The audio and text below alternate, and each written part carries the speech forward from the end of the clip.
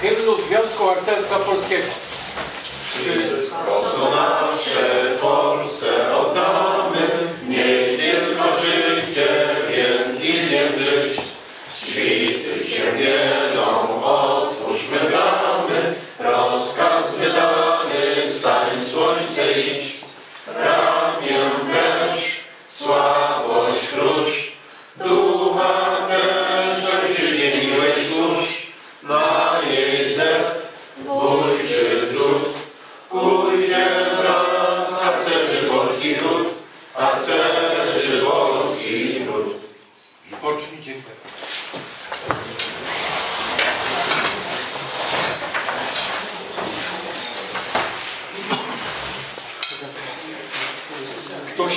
Swych uczuć i myśli postrzeża, powiększa siebie i ojczyznę swą.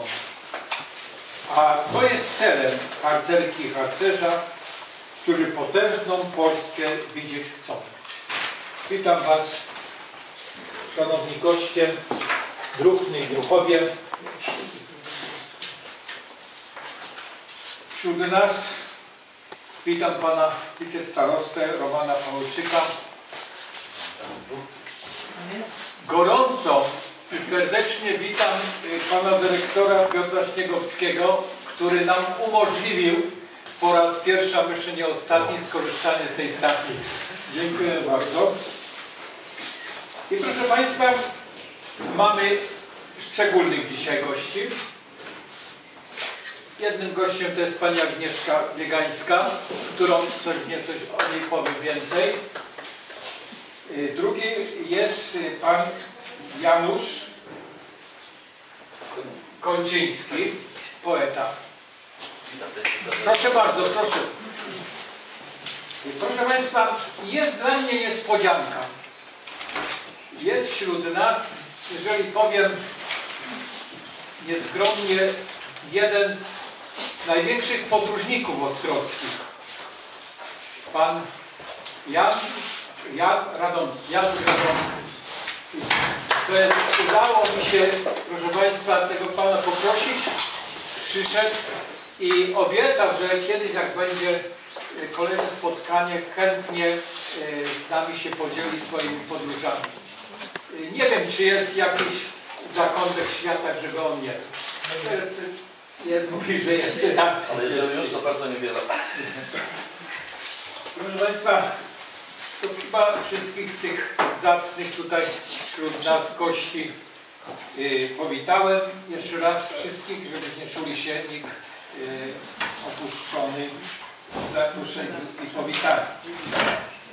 Moi drodzy, kapituła honorowej odznaki Komisji Historycznej z dnia 6 października 2017 roku w składzie Harcmistrz Zbysław Kazimierz Brzeski kanclerz, Aleksandra Biegańska, harcmistrz, harcmistrz Jerzy Knaty, harcmistrz Dariusz Potaszny, podharcmistrz Krzysztof Kaczmarek, podharcmistrz Stanisław Augustyniak.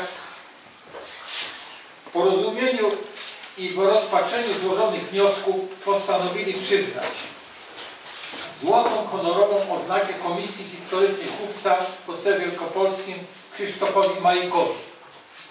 Srebrną honorową oznakę Komisji Historycznej Wielkopolskim Dawidowi Wienkowi.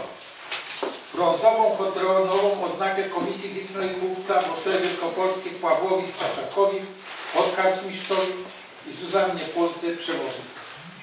Bardzo proszę o wystąpienie. Gratuluję.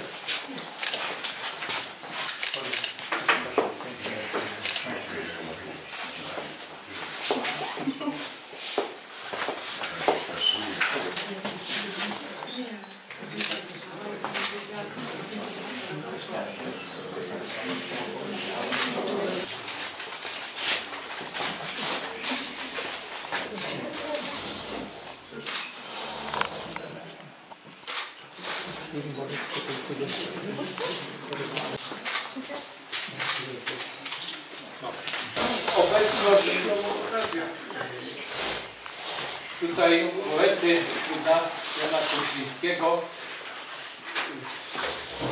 zmusiła mnie do przemyślenia pewnej sprawy, a mianowicie on założył dom poety choć jest to nazwa wymijająca, bo jakby nazwa muzeum, to by wszelkie obowiązki go zaraz złapały i nie dałby rady w ogóle to uciągnąć. I tak sobie pomyślałem, jak Wam to, to muzeum zbiera, a byłem, byłem, zobaczyłem i jest tam naprawdę duża wartość, ładny majątek. Postanowiłem do tego domu poety przekazać panu Januszowi swój medal, który otrzymałem na stulecie harcerstwa. Jest tam, jest wśród eksponatów.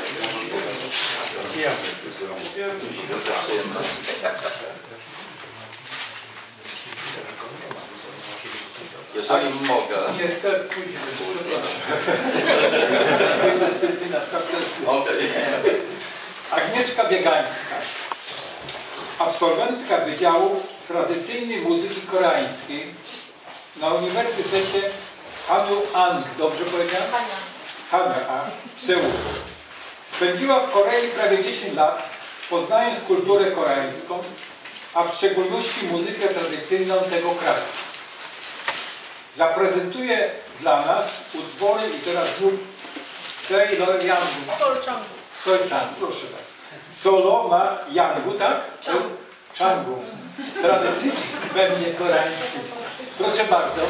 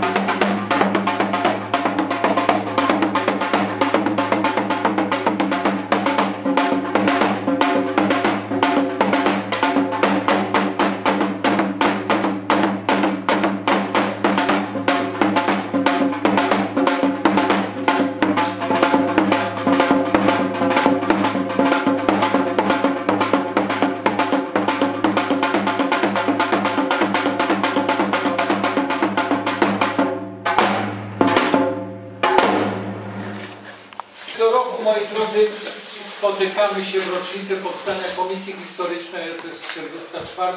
rocznica i wspominamy kogoś ważnego z naszej, z naszego grona, z naszego życia harcerskiego. Dzisiejszy wieczór chcemy poświęcić Zbigniewowi Cieśkiewiczowi. Staramy się dotrzeć do kogoś z jego rodziny, w ostatniej chwili mi przekazano informację, że córka jego powinna mieszkać na ulicy 3 Maja za wieżą Ciśnie. Byłem tam. Niestety dom, w którym mieszkała na drugim piętrze, ładna wila, trzeba powiedzieć, choć zniszczona, jest zamknięty na cztery spusty. Pochodziłem po sąsiadach i dowiedziałem się, że od dwóch lat córki pana Cićkiewicza nikt już nie widział w tym terenie. W związku z tym żałuję, nie dotarłem, ale to tak w naszym życiu bywa, że zawsze troszkę o krok się spóźniamy w niektórych sprawach. Pokrótce, kto to jest Zbyszek Cićkiewicz? Urodził się na ziemi lwowskiej. Tam wstąpił do harcerstwa. Tam był drużynowym pierwszej drużyny lwowskiej. Tam zdobywał szlify instruktorskie. 17 lat był harcerzem rąk lwowskich. Pierwszy raz spotkał się z Ostrów, z miejscowością Ostrów, wtedy, kiedy będąc na obozie instruktorskim, do nich zawędrowała grupka harcerzy, a byli to harcerze drugiej drużyny Dąbrowskiego z Ostrowa z Siwym Sokołem Lechem Zielskim na czele. Wtedy poznał Siwego Sokoła i nigdy nie myślał, że jego losy będą takie, że się z nim kiedyś spotka, będzie jego podła. 30, w latach 30. przywędrował do Ostrowa, y, posiadając pełne wykształcenie pedagogiczne i zaczął uczyć w liceum, w gimnazjum żeńskim. W 1939 roku komendant chorągwi, si- komendant Kupca, nie kto inny jak Siwy Soków, powierza mu komendanta pogotowia wojennego. Ważna, ale jakże trudna, odpowiedzialna misja. Niestety, jak kiedyś wspomniał, wspaniała młodzież jednak nie mogła być do końca wykorzystana. Nie było jej to dane. W okresie okupacji zawędrował do Wrześni i tam został szefem tajnego nauczania. A informację o tym, że jest powołany na to stanowisko, przesłał mu, zawiózł druk serwański, kolejny nasz harcerz ostrowski, będący w Poznaniu w tym czasie. Karta druga Zbyszka we wrześniu jest wspaniała. Także nie dotarłem tam, ale rozmawiałem telefonicznie. Do dzisiaj go pamiętają i do dzisiaj wspominają, jakim był dobrym człowiekiem. Gdy wrócił po wojnie do Ostrowa, podjął z powrotem nauczanie już w liceum żeńskim. Jednak jego historia przedwojenna, jego pochodzenie troszkę przeszkadzało mu byciem w tejże szkole, może i grona całego nauczycielskiego, a może tylko dyrekcji. W każdym razie został powołany na dyrektora liceum wieczorowego. Gimnazjum, ono było takie liceum i przez wiele lat szefował. Kiedy harcerstwo, ale tu muszę powiedzieć, nie dotarłem do ciekawszych y, jego działań harcerskich w okresie 45-49.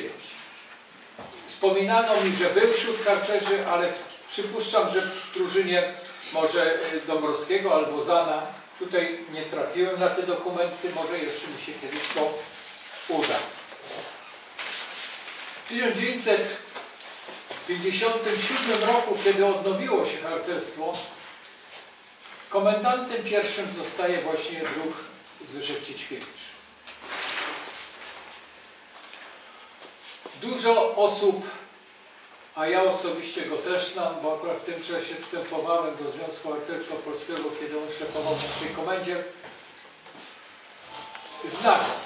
Myślę, że w dzisiejszych wspomnieniach o nim ktoś będzie mógł coś na ten temat powiedzieć. Muszę powiedzieć, że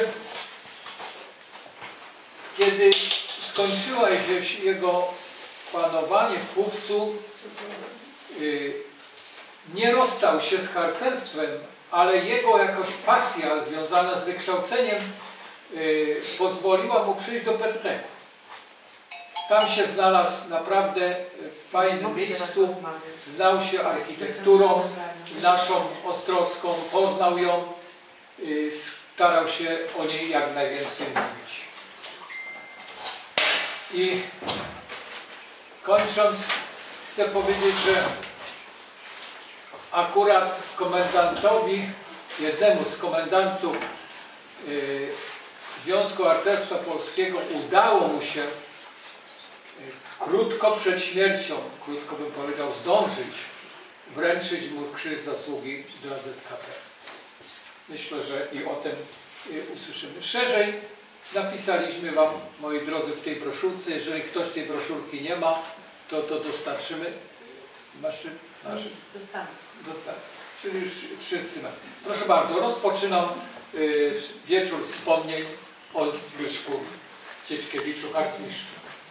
Czy ktoś by chciał? Józef Kozan, y, komendant Chówca Ostrowskiej, komendant Chorągwi Kaliskiej, Belfer i o Belfrze może coś nam powie. Tak, e, otrzymałem zaproszenie na pierwsze spotkanie i przeczytałem właśnie między innymi zdanie, że będziemy mówić na temat Cieśkiewicza. E, oczywiście nie mogłem mi tu nie być. Ja dzięki niemu tu jestem w Ostrowie Wielkopolskim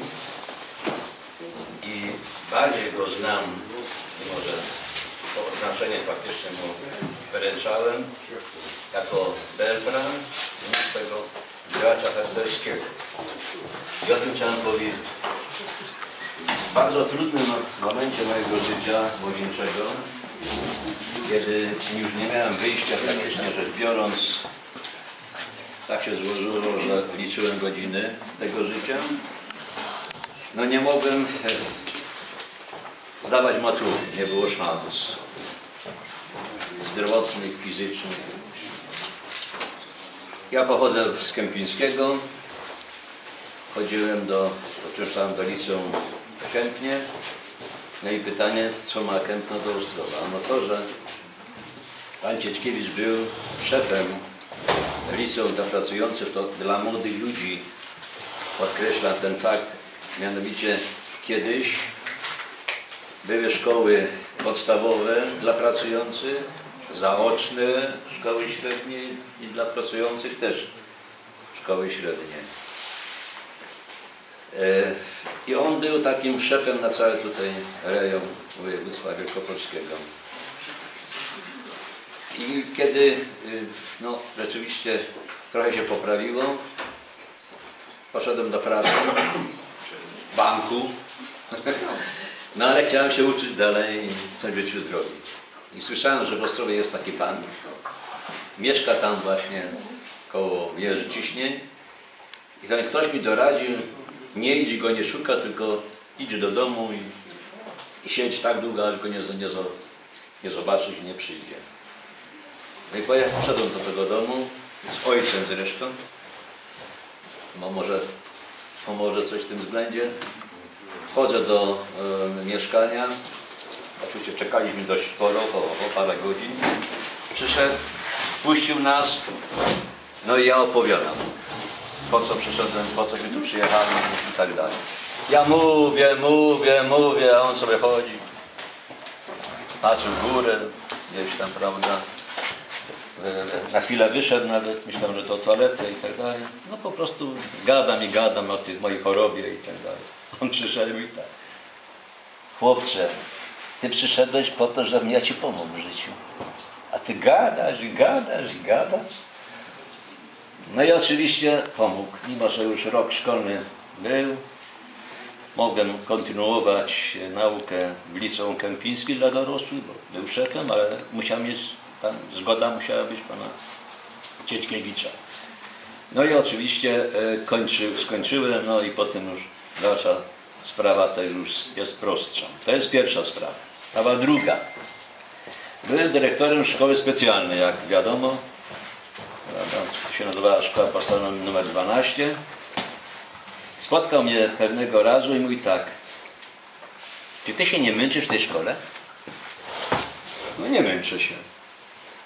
A może byś chciał przyjść uczyć do mnie języka polskiego, bo on no, Gruzie na gimnazjalnej, czyli tutaj teraz pierwszym liceum pracował. No i oczywiście zatrudnił mnie na tam pół etatu, byłem dyrektorem i u niego miałem godzinę języka polskiego. Ale po co to mówię? Bo jego zdaniem nauczyciel w szkole specjalnej, proszę nikogo, nikogo nie obrażał, nie może długo wytrzymać. On musi być poza, ten nauczyciel. I on mi to dotłukł. Ja potem jak przyszedłem po miesiącu do szkoły, popatrzyłem na tych moich ludzi, tu pani Biegańska to potwierdzi, to ich też do, do, szkół wysłałem. A to do studium, a to do innej szkoły, żeby rzeczywiście uczyli w szkołach podstawowych, żeby poznawali także i to życie, prawda, uczniowskie i te warunki i tak dalej, to zupełnie było inne spojrzenie. Czyli szkoła podstawowa nr 12, oprócz tego, że mur rozwaliłem, przyznaję się ten płot, ale również rozwaliłem to, że stała się taką szkołą powszechną, że nauczyciele tej szkoły uczyli w szkołach różnych, prawda, typu w Wielkopolskiej. Bardzo fajna sprawa. No i trzecia sprawa. No to związana właśnie z tym odznaczeniem. Tyle się napracował, tyle się namęczył. Mógłbym tu wiele na ten temat powiedzieć. No i wystąpiliśmy jako komenda chorągi kaliskiej z KP o Złoty Krzyż za zasługi dla ZKP. Wiedzieliśmy, że no, zejdzie niedługo z tego świata. Postanowiliśmy iść do jego domu. No i w obecności Danuty Olkiewicz, Urszuli Janoty, Jerzego Biegańskiego, Jacka Skiby, Andrzeja Kornaszewskiego seniora, no i mojej skromnej osobie wręczyliśmy mu ten krzyż przypinając do piżamy. Już nie mógł podpisać. Ale zdąży powiedzieć, Andrzej bardziej z nim żył, Kornaszewski, zdąży powiedzieć tak. Niedługo odejdę. I to jest dla mnie, tak powiedział, to jest dla mnie wyróżnienie, że tu jesteście. On nie mówił o medalu, tylko że my tam jesteśmy. To jest taka, taka lekcja ró- również, prawda, że warto do końca jednak, prawda, tego kogoś tam odwiedzać, z nim być i mu podziękować. Wielka postać, nietuzinkowa, sztandarowa i wzorzec do naśladowania. Nie ukrywam, że wiele z tej działalności jego także wykorzystałem w swojej pracy pedagogicznej. Ta księga chorągi kaliskie.pl To jest strona, którą tutaj, prawda, i te napisy, prawda, i tak te podpisy jego wszędzie tu się znajdują. To jest autent oryginalna. Nie udało się tam wszystkiego napisać. No ale, ale chyba jesteście przekonani, że mówimy dzisiaj o człowieku, tak jak był przed chwilą, naprawdę nietuzinkowym. Gdyby tu była osoba z PPT-ku, to najprawdopodobniej by nam powiedziała bardzo dużo o jego działalności pedagogowskiej.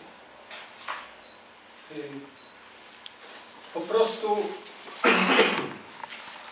co z tych rozmów, bo ja rozmawiałem w Janem, wynika, że on nigdy nie chciał być na pierwszym miejscu. On kiedyś powiedział, że on nie, nie jest z tego z orderów, odznaczeń, pochwał. On jest z tego, co robi. To jest jego wizytówka życiowa. I zawsze miał czas. I zawsze miał czas. Tak, to jest, to jest, to jest to właśnie takie, zresztą dlatego jego różnorodność w działaniu na terenie Ostrowa. Czy ktoś z zebranych chciałby jeszcze coś powiedzieć o Duchu Zbyszku? Proszę bardzo. Ja nic nie o Duchu Zbyszku, bo nie miałem szans go poznać, ale e, ja tu Ducha wywołam do, do odpowiedzi. Bo tu tak się śliznął po temacie pogot- harcerskiego pogotowia wojennego. On był komendantem. E, i to był pewien ewenement z historii e, ostrowskiego harcerstwa. Ja wiem, że dwóch naszych instruktorów przed wojną brało udział w szkoleniu komandosów, szpiegów, nie wiem jak to tam nazwać, ale myślę, że warto przy tej okazji ten wątek poruszyć i tu zgromadzonym coś więcej powiedzieć na ten temat. Moja wiedza jest skromna, więc wolałbym od druga usłyszeć. Znaczy, odpowiadając na to pytanie, będziemy musieli zacząć mówić o jeszcze innych ludziach, bardzo ważnych ludziach naszych ostrowskich. Yy, Ja pozwoliłem sobie dość obszernie napisać o nich w swoich książkach. Yy, Ostatnie ślady, także yy, nie chciałbym tu zajmować yy, tą sprawą, ale muszę powiedzieć, że wpływ Zbyszka na młodzież szczególnie młodzież harcerską, był ogromny. Nieraz się zastanawiałem, jaką w tym wszystkim rolę odgrywał w tym krótkim czasie września, właściwie 1939 roku, y, komendant nasz ówczesny y, Lech Ziemski, a jaką odgrywał właśnie ten lwowski instruktor, który przyszedł taki trochę naładowany tym scoutingiem lwowskim, bo to trzeba, ci co harcerstwo znają, wiedzą, że że to harcerstwo w niektórych y, naszych rejonach troszkę miało inne takie y, siły, swoje zaparcia. Y, Galicja, Lwowskie, tam zresztą się wszystko rozpoczęło i Wielkopolska, Kongresówka, to były ogniwa powstawania harcerstwa, ale tym takim ogniwem właśnie y, tworzenia harcerstwa to jest lwowskie, krakowskie tam I właśnie druh Zbyszek stamtąd pochodził. Jeżeli ja wam powiedziałem, że był drużynowym pierwszej drużyny lwowskiej, moi drodzy, no to zaszczyt. Jakby ktoś znał historię Lwowa, to wie, co to znaczy. Jeżeli powiem, że tam zdobywał stopnie, pierwsze stopnie instruktorskie, tam się za kawę, za herbatę, za nic, za uśmiech nie dawało. Tam trzeba naprawdę było coś wiedzieć. I przede wszystkim trzeba było, było być wielkim patriotą. A druk Zbyszek był tym wielkim patriotą, co wykazał niejednokrotnie. Jeżeli mi się uda kiedyś być we wrześniu, to postaram się zgłębić jego tajniki działania na terenie września. Dlaczego ludzie z okresu okupacji go tak mile wspominają? A on był tym, który mógł podpisać y, dokument, że ktoś ukończył gimnazjum w okresie okupacji, czy ukończył szkołę podstawową. Taką, że on miał władzę. A ją, jak wspomniałem, serbański, serbański, druk serbański, karcmistrz, o którym chyba też kiedyś spotkamy się i będziemy rozmawiać. Nie chciałbym mówić, y, Darku, o tym okresie wojennym, bo to był bardzo trudny okres. Szkolenie, łączności, młodzieży, y, wojsko, wszystko pomieszane. My to tak, ci co przeżyli, to oni to, oni to wiedzą. Ja to już teraz wiem tylko z pi- 157 rozmów przypisanych książek od tych ludzi, jaki to był taki harmiter. A on nad tym wszystkim panował. On panował. On mówił, ty pójdziesz tam, ty pójdziesz tam, ty pójdziesz tam. Nie było dyskusji. Ale też to i były inne czasy. Wtedy nie było czas na demokrację. Wtedy był czas na wy, wydawanie rozkazów i wykonywanie tych rozkazów. I to tak, to tak bym skomentował. Także przepraszam, że tylko tyle. Proszę coś. Więc ja chciałam powiedzieć, że przygotowując na dzisiejsze spotkanie z, z Włodkiem przesłuchiwaliśmy właśnie scouting Baden-Powella, Małkowskiego i naszego y, Cieczkiewicza. Więc druk Cieczkiewicz z spotkał się, to znaczy y, y, jak miał 10 lat, to już Małkowski wierzył ale już w- Lwowie powstały drużyny skautowe, ponieważ Małkowski w swoim czasie, e, ucząc się w Lwowie w jakiejś tam e, uczelni, przeskrował coś i za karę e, musiał przetłumaczyć książki o e, Baden-Powella.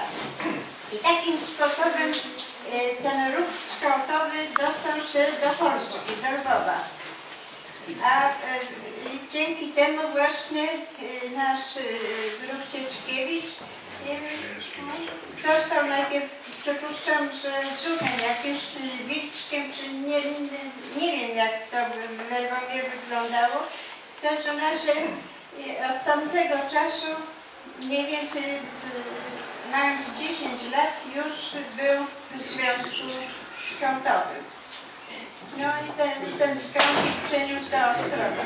Mówiąc o jego skromności, to rzeczywiście sobie przypominamy, to znaczy był wielką postacią, bo ja akurat byłam młodą dziewczyną, kiedy trzeba, y, y, no jeszcze to zdążyłam poznać druga Cieczkiewicza, no i się okazuje, że y, on jak były powody czy jakieś tam sztyki, to się tylko wtedy y, pokazywał nam. I wiem, że zawsze y, szła taka poczta pantoflowa, sam komendant przyjdzie, będzie, nie? I także bardzo przeżywaliśmy właśnie y, postać komendanta, to był ktoś. No i co jeszcze z takich śmiesznych rzeczy to było to, nie wiem, czy mówić, że biedny y, druh nie miał munduru. I jak było odbieranie sztandaru, to pożyczył sobie od Andrzeja Kornasza, druga Kornasza, od Tarka Stawika, druga e, Stawika, pożyczył sobie mundur. No i się okazało, że zobaczyliśmy, że on ma podkładkę granatową. Zieloną, zieloną. No. A y, y, był harcmistrzem już. W związku z tym bardzo nas zdziwiło, że, że taką podkładkę ma nie, niestosowną do, swoich, y, do swojego stopnia. No i to tyle, co ja mogę powiedzieć o y, Cieczkiewiczu. Dziękuję bardzo. Jeszcze może, to może ja, chociaż nie jestem tutaj najstarszą osobą, która e, poznała w tym czasie ostrowskim drucha harcmistrza e, Ciećkiewicza. E, Tutaj na przykład e, są obecne takie osoby jak harcmistrz Tadeusz Wangę, który tam siedzi, e, druh na tutaj czerwonym swetrze, Natańczyk, która jest, która zna obok druha Wangiego siedzi druh Czerwiński, z którym bywaliśmy na obozach. Ale o czym ja chciałem powiedzieć? Właśnie to było ważne, że druh Ciećkiewicz potrafił wówczas stworzyć na nowo hufiec. Przecież to się wszystko odbywało po roku 56, bo w 56 roku w grudniu był y, zjazd ówczesnego OA, y, na który jak gdyby się prosili, pojechali różni instruktorzy, słynni y, w Polsce, a z Ostrowa między innymi tam był przedstawiciel ostrowskiego no, grupy instruktorów, był Andrzej y, Kornaszewski, który nam opowiadał o tym, jak to wyglądało. Oni się później przenieśli do Warszawy i później w jakiś sposób to harcerstwo powstało. Jak to harcerstwo powstało? Ja wówczas y, w 1957 roku chodziłem do trzeciego liceum. I pewnego dnia nas wywołano z lekcji i powiedziano, przyszedł przedstawiciel y, harcerzy i możecie się zapisywać. No i poszliśmy, to było w- tym w miejscu, gdzie y, w tej chwili jest liceum y, czwarte i tam w takim zaułku na korytarzu spotkaliśmy harcerza. To był Tadeusz Stawik. On żyje do dziś. I on był moim pierwszym drużynowym. No to no, no wielka rzecz. Otwor, po prostu y, wtedy powstała dziesiąta drużyna harcerzy imienia y, Aleksandra y, Zoszki Zawadzkiego, do której między innymi należałem. Po pewnym czasie trzeba było w Ostrowie tworzyć nowe drużyny, bo przecież ich nie było. Wobec tego druh Cieckiewicz w porozumieniu z komendą Chówca, a ta komenda Chówca wtedy się składała z takich osób. On komendant, zastępczyni, bo to jeszcze był taki podział niekoedukacyjny, zastępczyni do spraw harcerek właśnie druh na e, ówczesna podharcmistrz e, Danyta Olkiewicz, w tej chwili ona oczywiście jest harcmistrzem, e, i e, druh Jarmużek, który był też do, do spraw męskich. Ale główne skrzypce w Chówcu odgrywał druh Andrzej Konoszewski. On organizował różne czapsztyki, on organizował ogniska w lesie na Krępie, w których braliśmy udział. Podchody. Tak, te ogniska były takie, że po prostu myśmy się gdzieś tam zbierali w jakimś miejscu, później wszyscy z pieśnią na ustach szliśmy na to ognisko. Tam na przykład spotykaliśmy się z druhem e, Ciećkiewiczem, który wygłaszał e, gawędę. Później wracaliśmy na rynek, tam było, był krąg i tak dalej. No ale, ale co chciałem dalej powiedzieć? Dostaliśmy powołania przez ostrowskiego chówca od razu jako no młodzi, no, no co myśmy mieli? Jeszcze nie mieliśmy nawet stopni harcerskich. Ani młodzika, ani, ani, ani wywiadowcy, ani ćwika, które wtedy już y, były przywrócone. I mm, pojechałem y, w lipcu, w sierpniu był druh y, Czerwiński, tam na obozie do Borku Gorzowskiego nad Wartą. Y, Druh Biegańska wie dobrze, bo tam również Jurek też był w tym czasie. No tam jeszcze szereg różnych innych osób było i my tam po prostu y, po tym obozie y, przysz, przyszliśmy do chówca i w tym chówcu nam powierzono drużyny. Ja y, otrzymałem przydział na drużynowego do szkoły podstawowej, obecnie się to nazywa y, numer 5, y, a kiedyś to była szkoła na Krępie. Był tam wtedy kierownikiem, bo wtedy jeszcze nie nazywali się dyrektorami, y, ci kierujący szkołami. Był tam, y, mm, jeśli dobrze pamiętam, Kuczma, taki, taki starszy, starszy pan. No i prowadziłem, prowadziłem drużynę. Ale Andrzej dopingował. Mówi, na zakończenie roku musi być ognisko y, w tym lesie na, na, na Krępie. Wobec tego jechaliśmy na to ognisko, szliśmy też i tam po prostu on przychodził. Włączyli się do tego, żeby ten śpiew, moi, moi chłopcy, no młodzi, dużo ich nie było, y, po prostu tej 21 drużyny harcerzy imienia Stefana Czarnickiego. To była drużyna, która była reaktywowana kiedyś, tam właśnie Drugrzeszyk prowadził.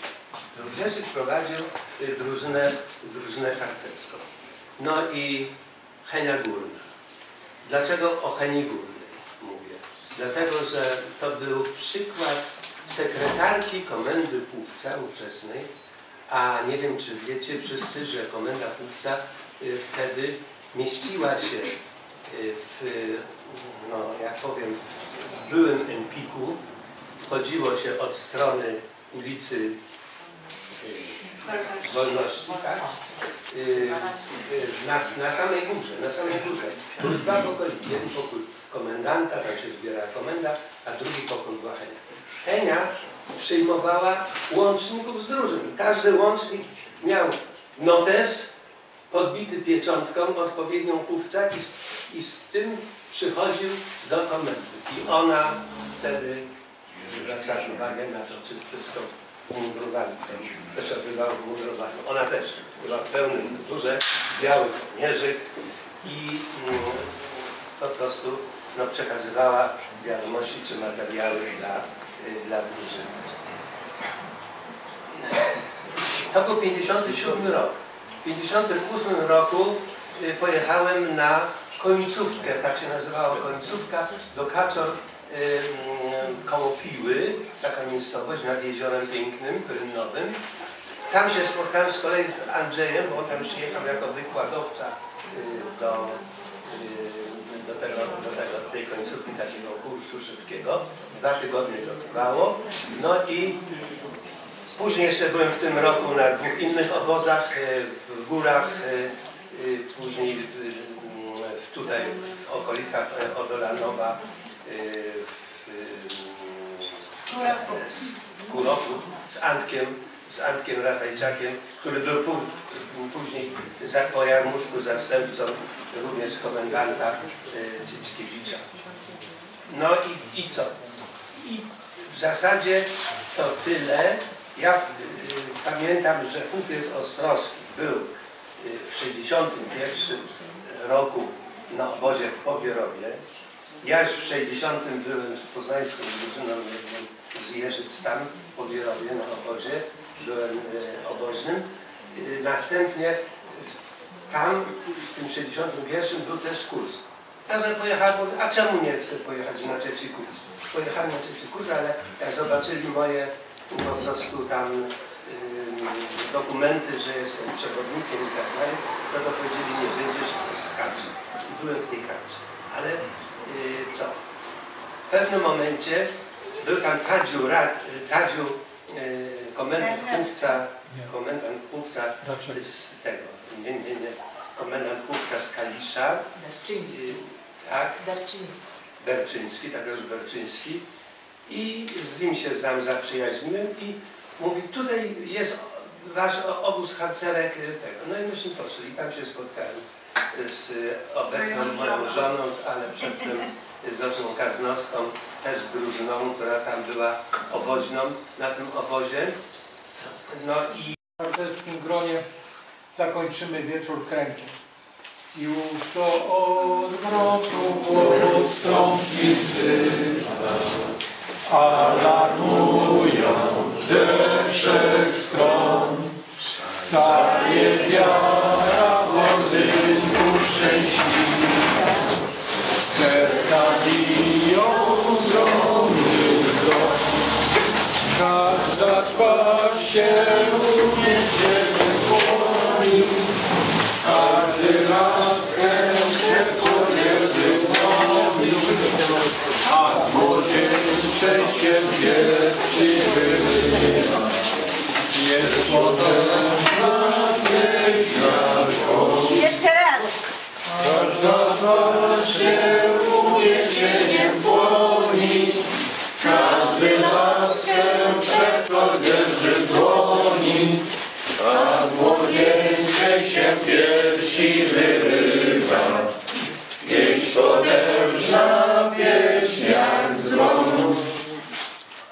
dziękuję Wam bardzo, żeście znaleźli czas i przybycie na ten wieczór.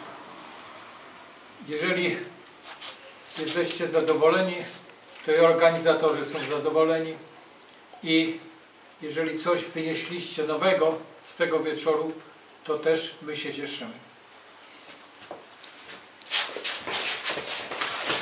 Brat nie Słowo sobie daje, że Bóg